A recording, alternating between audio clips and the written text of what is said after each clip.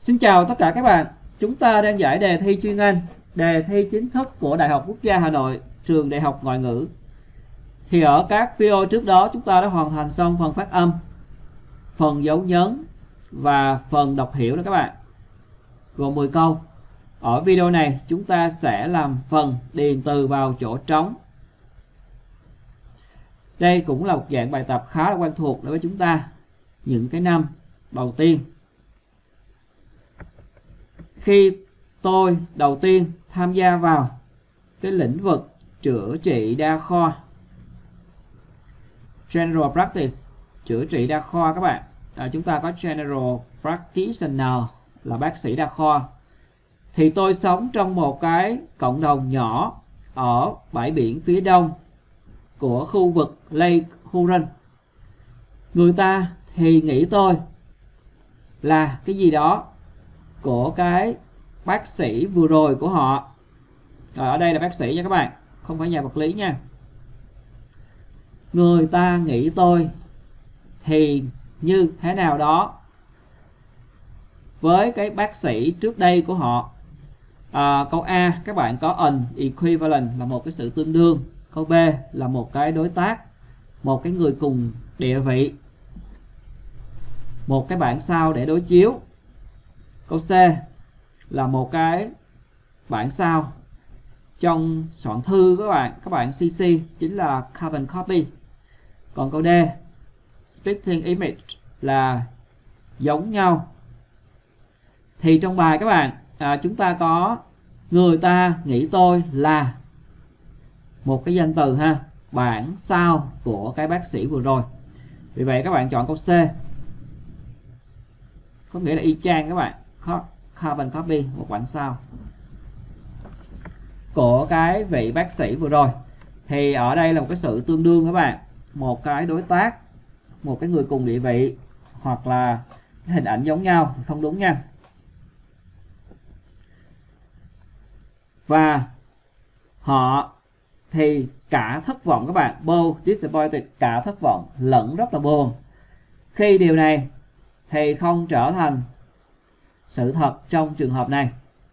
Dù cho tôi có một vài companions companions ở đây có nghĩa là một vài người bạn các bạn, một vài người đồng nghiệp á. Rồi, có vài người đồng nghiệp.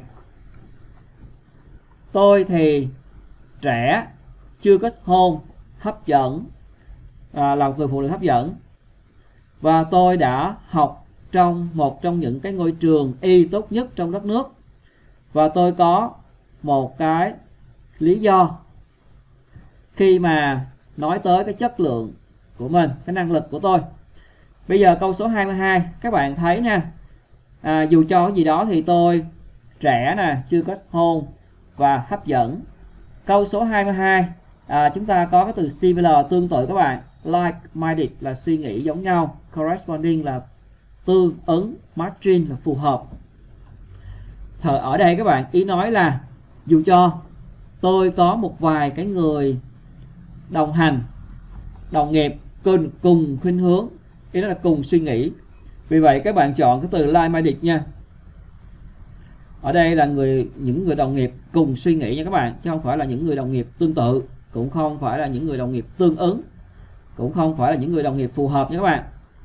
Rồi tôi thì trẻ chưa hấp kết hôn và là người hấp dẫn cái người mà trải qua cái trường y tốt nhất các bạn. Nó thì rất là buồn. À, effort đầu tiên rất là buồn khi mà cái gì đó chuyên nghiệp bị phớt lờ. Rồi và những cái bệnh nhân của tôi á cứ khăng khăng đòi những cái suy nghĩ những cái ý tưởng kỳ quặc cho những cái chuyện nhỏ nhất trong những cái tình trạng này thì câu số 23 cái gì đó chuyên nghiệp bị phớt lờ là các bạn. 23 các bạn có rule là luật các bạn quy định luật quy định những cái nghi thức xã giao protocol là nghi thức ngoại giao. Thì ở trong đây các bạn bác sĩ với bệnh nhân ha với đồng nghiệp thì chúng ta chọn từ etiquette là nghi thức à, xã giao thông thường các bạn. Còn cái này là nghi thức ngoại giao giữa hai quốc gia nó trang trọng hơn nó formal hơn rồi chúng ta chọn câu 23 là câu C. À, khi mà những cái nghi thức giao tiếp à, hàng ngày chuyên nghiệp bị phớt lờ và bệnh nhân của tôi khăng khăng suy nghĩ ra hướng khác. Nhưng điều này trở nên khó khăn hơn khi người ta bắt đầu để mà lan truyền những cái gì đó ác ý về cuộc sống cá nhân của tôi. Các bạn có từ malicious là ác ý nha lan truyền những tin đồn ác ý. Câu số 24 uh, à, scandal. Rồi scandal. Có nghĩa là bê bối nè. Report là báo cáo. Speculation. Có nghĩa là sự uh, xuất bản sự lan truyền. Gossip có nghĩa là tám các bạn. Tám gẫu lẫn nhau. À, trong trường hợp này các bạn dùng cái malicious gossip. Rồi là những cái tin đồn tán gẫu ác ý về cuộc sống riêng tư của tôi. Rồi gossip thôi nha các bạn. Ở đây chỉ là một bác sĩ thôi chưa tới mức là speculation xuất bản. Tuy nhiên tôi quyết định rằng tôi sẽ không để bản thân của tôi à, bị cái gì đó. Thậm chí nếu có đủ lý do để làm cho ai đó cảm thấy như thế nào đó thì tôi đã theo cái những cái phương pháp của cha tôi cho những cái vấn đề này. Rồi. Thì à, bây giờ cho tất cả những vấn đề này. Bây giờ các bạn có câu số 25 là homesick này các bạn. Miserable. Dejected. Rồi buồn nản nè rồi còn wistful là đâm chiêu tiếc nuối buồn nản đau khổ nhớ nhà. Nhớ nhà thì không hợp nghĩa nha các bạn. Trong trường hợp này đang nói tới à, những cái vấn đề giữa những cái người với nhau không có nhớ nhà ở đây. Rồi à, tôi quyết định rằng tôi sẽ không để cho bản thân của tôi bị làm cho à, đau khổ nè à, buồn nản nè đâm chiêu tiếc nuối. Thì ba cái chữ này các bạn ba cái chữ này thì nó sẽ thiên về cái cách sử dụng trong tiếng Anh bởi vì các bạn dịch ra chữ nào chăng nữa các bạn cũng thấy hợp nghĩa ha. Mắt chúng ta cộng tính từ. Rồi, bây giờ bắt buộc câu này các bạn phải tra từ điển ha. Nếu ở nhà các bạn tự học các bạn. Rồi, bây giờ giả sử cho các bạn tra cái chữ miserable trước nha các bạn. Miserable. Rồi, các bạn thấy nè, ở trong bài chúng ta có từ mac này các bạn. Và ở đây là mac miserable. Rồi. Vì vậy cái từ mac đi với cái từ này, nên các bạn chọn nó luôn.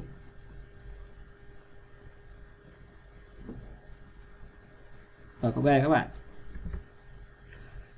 Rồi, tôi quyết định là không để bản thân tôi trong rất là đau khổ, thậm chí không có đủ lý do để làm cho người ta cảm thấy gì đó các bạn. Câu số 26 để người ta cảm thấy đầu tiên là inconsolable. Chúng ta có condolation đó là chia buồn các bạn. Chữ này là không thể nguôi. À, không thể nguôi không thể không thể uh, hết buồn. Này phớt lờ nè các bạn. Rồi chữ này làm đau buồn. Rồi còn chữ này á, nghĩa là thoái chí. Rồi thì trong trường hợp này các bạn thấy cái chữ nào nó cũng buồn buồn hết. Bắt buộc chúng ta phải tra từ điển nha rồi các bạn thử cái từ à, tra từng chữ một. Rồi ví dụ như các bạn tra bốn chữ xong rồi tới cái chữ đi spawn done. Đây các bạn. Các bạn tra cái chữ này các bạn xem là cái động từ nào. Đi với nó nha. Ở đây bị không này các bạn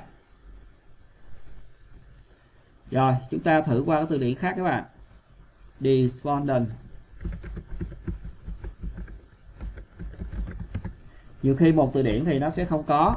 Ở đây các bạn, câu này các bạn thấy nè. Feel despondent about. Rồi ta nhấn mạnh cho chúng ta bao luôn các bạn. Rồi, trong câu này, câu 26 các bạn chọn câu D nha. Nghĩa là cảm thấy nản lòng, thói chí chữ này cũng là nản lòng thói chí nè, không thể nguôi ngoai các bạn. Tuy nhiên, nghĩa giống nhau, chúng ta sẽ dựa vào ngữ pháp, feel các bạn.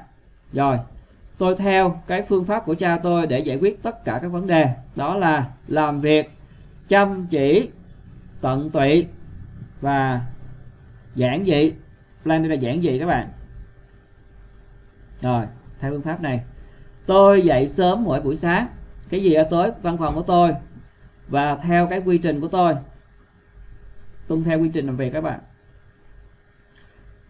Câu số 27 tôi dậy sớm mỗi buổi sáng về gì tới phòng của tôi. Dash là tạt ngang. Chữ dash này là là tạt vô cái đi luôn các bạn. Spring là chạy nước rút. Chạy nước rút. Còn này jog là chạy bộ các bạn. Brand là chạy nè ha. Rồi, ở đây chạy bộ nha các bạn. Chạy không có vội. Chạy từ từ, đi tới. Không phải chạy chữ này cũng không phải dash rồi.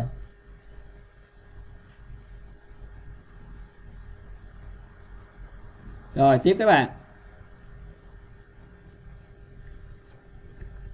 Điều này trong à, thì trong những năm 30 các bạn và mức độ đói nghèo thì gì đó nè. Rồi mức độ đói nghèo thì gì đó. Rồi. À, mức độ đói nghèo thì buồn bã. Mức độ đói nghèo than vãn.